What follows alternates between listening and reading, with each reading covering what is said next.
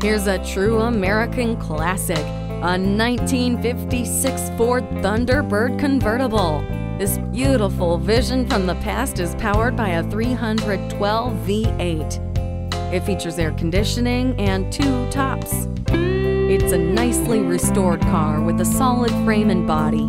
Paint is straight with good body lines, and all chrome is in excellent shape. Classic Thunderbird runs and performs the way it's supposed to. Come check it out today. We're conveniently located at 241 Boston Road in Milford, Connecticut, or online 24 7 at NapoliClassics.com.